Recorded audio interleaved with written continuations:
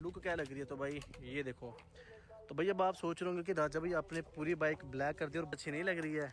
Hello welcome back to my another video guys तो आज हम लोग आप लोग को बताने वाले हैं कि राजा डीसी जो है उनने अपनी बाइक को मॉडिफाई करवा लिया तो चलो वो वीडियो की तरफ़ चलते हैं। बाकी अब एक टैंक रह गया हुआ है एक अगला मडगाट रह गया बाकी ऑलमोस्ट सारी बाइक है जो ब्लैक हो चुकी है।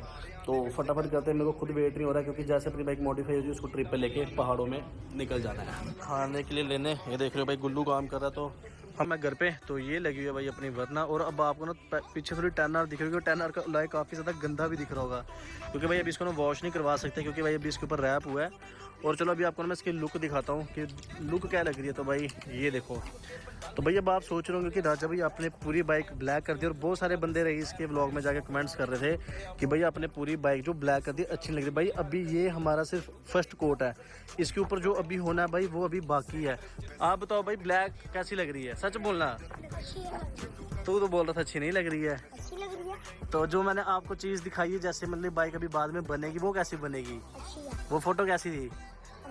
कैसी लगेगी?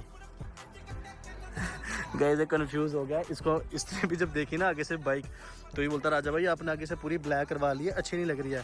फिर इसको मैंने बताया कि अभी जो प्रोजेक्ट है, वो कैसा बनेगा और ये बाइक एंड में कैसी बनेगी।